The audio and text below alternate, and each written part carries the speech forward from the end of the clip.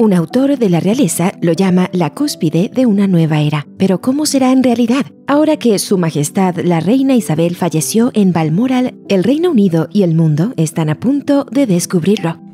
Buckingham Palace has announced the death of Her Majesty Queen Elizabeth II. Muchos cuestionaron la salud de la reina Isabel II después de que faltara a un servicio religioso de acción de gracias durante su jubileo de platino en junio del 2022. La reina, de 96 años, se quejó de malestar en uno de sus eventos y decidió no asistir al servicio en la Catedral de San Pablo al día siguiente. Aunque los allegados a la reina siguieron apaciguando la opinión pública sobre su salud en los días previos a su fallecimiento el 8 de septiembre, los planes para su muerte llevan mucho tiempo en marcha. Este plan, cuyo nombre en clave es Operación Puente de Londres, ha estado listo desde 1960 para anticiparse a las necesidades del reino. Según el plan, la frase El Puente de Londres ha caído debía utilizarse para informar al primer ministro de la muerte de la reina. La actual primera ministra es Liz Truss, quien recientemente sustituyó a Boris Johnson. El 6 de septiembre, Truss tuvo su primer encuentro formal con la reina Isabel II en el castillo de Balmoral, en Escocia. En el 2021, Político obtuvo la versión más reciente de la Operación Puente de Londres y publicó los detalles del plan. Según algunas fuentes, el más complicado de todos los escenarios posibles para la muerte de la reina era que muriera en Escocia, que es exactamente lo que ocurrió. Este plan se llama apropiadamente Operación Unicornio. El unicornio es el animal oficial de Escocia, un país conocido por su amor a los mitos y el folclore, según The National Trust for Scotland. La reina pasó sus veranos en Escocia, en el castillo de Balmoral, en Aberdeenshire, una residencia real desde 1852. La finca de unos 200 kilómetros cuadrados fue un regalo del príncipe Alberto a su esposa, la reina Victoria. Balmoral era considerada la residencia favorita de la reina. El fotógrafo Lord Lichfield dijo de este lugar en 1972 que Balmoral es un sitio donde la familia real puede actuar como gente normal hasta cierto punto. Los últimos planes conocidos para la operación Unicornio incluyen llevar a la reina y su ataúd a Holyrood House, la residencia oficial de la reina en Edimburgo. El palacio se encuentra al final de la Milla Real, situada en el casco antiguo de la ciudad, un patrimonio de la humanidad.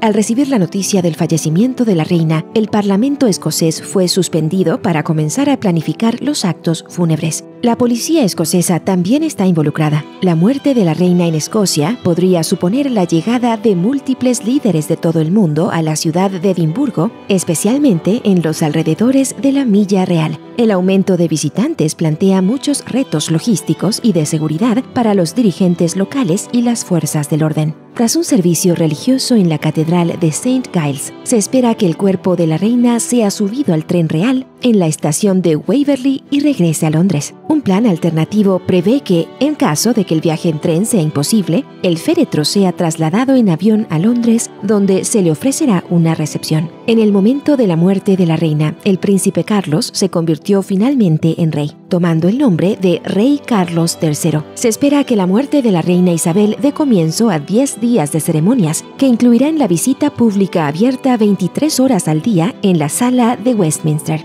Ella será enterrada junto a su esposo el príncipe Felipe en la capilla conmemorativa del rey Jorge VI del castillo de Windsor, donde también descansa su padre.